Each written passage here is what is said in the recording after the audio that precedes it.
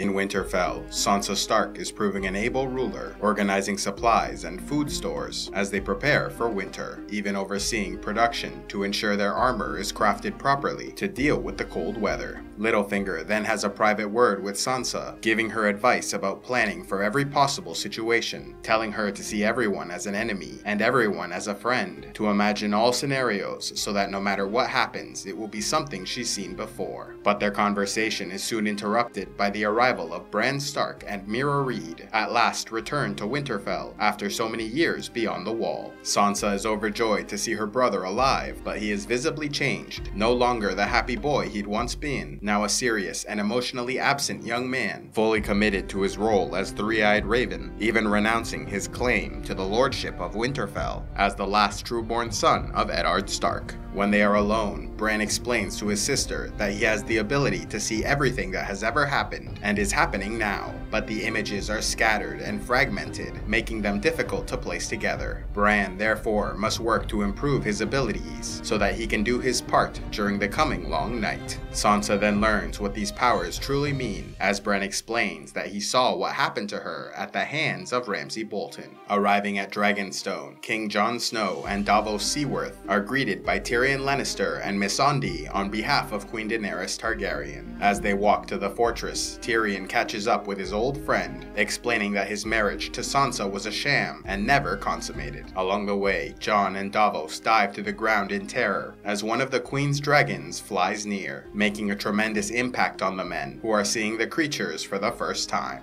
Far from the guests, Varys speaks privately with Melisandre and issues veiled threats, suggesting she leave Westeros and never return. Melisandre says that she plans to go to Volantis, but will return one last time as she is fated to die in Westeros, as is Varys. When at last they arrive in the throne room, Daenerys and Jon finally meet. The Mother of Dragons wastes no time in referring to the Northerner as a lord and asking him to bend the knee. She even references his ancestor, Torrhen Stark, who knelt to Aegon Targaryen during the War of Conquest 300 years earlier. Jon reminds the claimant queen that it was her father, the Mad King, who burned his grandfather and uncle alive. Yet rather than make excuses, she immediately recognizes this grievance, referring to her father as evil and offering a formal apology to House Stark on behalf of House Targaryen. Jon responds by saying that he will not judge a daughter for the actions of her father, in the same way he is not bound by an oath sworn by his ancestors. Jon then explains that he has come to seek an alliance so they might unite to take on the army of the dead gathering beyond the wall. Daenerys dismisses his claims and then recounts the various horrors she's faced throughout her life, telling Jon that she survived being sold, shamed, betrayed, raped, and defiled by having faith only in herself. Dragons had not existed for centuries until she brought them back. The Dothraki have never crossed the sea, but did so for her. She was born to rule the Seven Kingdoms, and would accept nothing less. Davos then explains the various hardships and accomplishments of Jon Snow, speaking of how he rose from a bastard without birthright to the Lord Commander of the Night's Watch, making peace and allying with the wildlings for the first time in history before being declared king in the north. Jon Snow, he says, has faced the myths and legends Daenerys does not even believe in, and nearly mentions Jon's death and resurrection until a look from the king cuts him off before he finishes. Still, Daenerys asks him to bend the knee, and Tyrion explains that he will get the help he requires if he does so. But Jon refuses, stating that her claim is based on a father who was deposed in part by his own father, and that the Northerners chose Jon as their king and no one else. Daenerys then accuses him of being in open rebellion before they are interrupted by Varys, who whispers in the queen's ear. Alarmed by his words, she dismisses Jon, allowing him to travel throughout the island, but forbidding his departure. When they are alone, she learns that the fleet on its way to Dorne has been attacked and crushed by Euron Greyjoy, resulting in the loss of their ships and the death or capture of their allies. Daenerys wants to mount her dragon and start hunting the seas for the enemy, but her advisors all agree it is too dangerous. Instead, they must hope that the second part of their plan succeeds, with the Unsullied capturing Casterly Rock.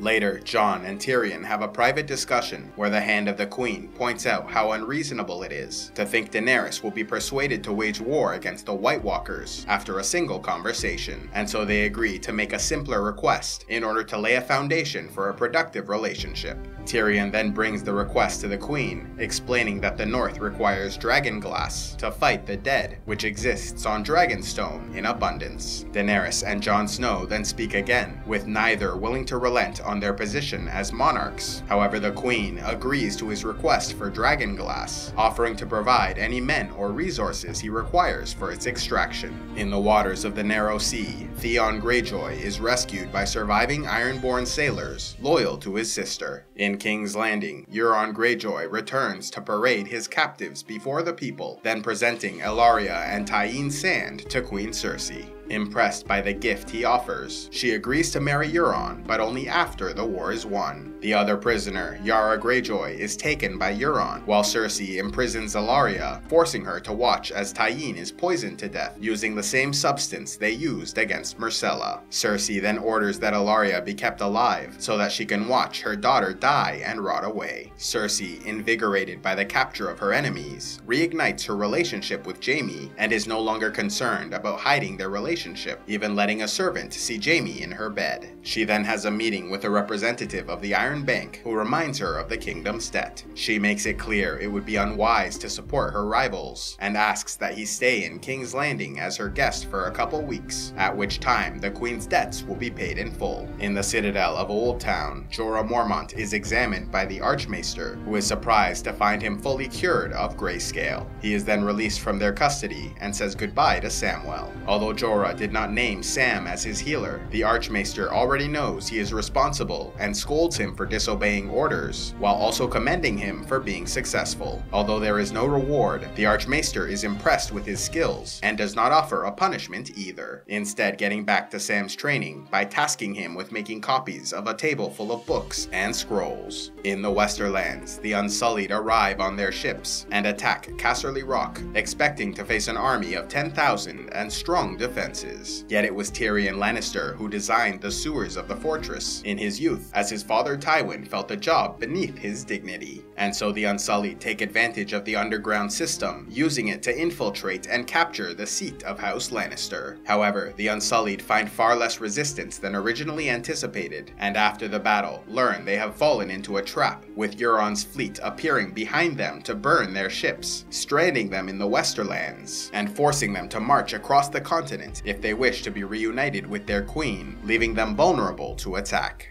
In addition, the bulk of the Lannister forces and their supplies left the Westerlands before the Unsullied arrived, following Jaime Lannister alongside the army of Randyll Tarly, who march against the Tyrells of Highgarden, taking their home in a surprise attack and capturing Lady Olenna. Rather than face a more vicious death at the hands of Cersei, Jaime poisons her drink to ease her passing. Before she dies, Lady Olenna looks Jaime in the eye and admits that she was behind the death of his son Joffrey, and with her final words, asks that he relay the information to Cersei.